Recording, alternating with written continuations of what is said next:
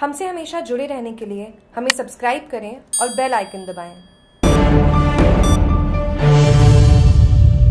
Sojat road में contaminated zone को छोटा करने के होंगे प्रयास जिला कलेक्टर अंशदीप व एसपी राहुल कोटोगी ने कस्बे के कोरोना संक्रमित क्षेत्र का दौरा कर आवश्यक दिशा निर्देश दिए कलेक्टर ने कस्बे के कंटेमिनेटेड को छोटा करने के लिए प्रयास करने के आश्वासन दिए। उन्होंने कहा कंटेमिनेटेड एरिया छोटा होने के बाद व्यापारियों को जितनी छूट दी जा सके, उस पर विचार किया जाएगा। देखिए, पहली चीज़ तो ये है कि यहाँ पर जो केसेज आए हैं, उसका इफ़ेक्टिव इम्प्लीमेंटेशन ऑफ़ लॉकडाउन हो।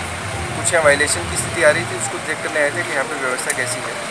साथ ही साथ सेकेंड पॉइंट जो है कि हमारा कर्फ्यू क्षेत्र थोड़ा ज़्यादा बड़ा हो रखा है। उसके अकॉर्डिंगली एक्सरसाइज कर रही है, हमारी टीम कर रही है एस साहब, तहसीलदार साहब वीडियो साहब, ये सभी लग के साथ में एक्सरसाइज कर रहे हैं। पुलिस की टीम के साथ भी एक्सरसाइज हो रही है।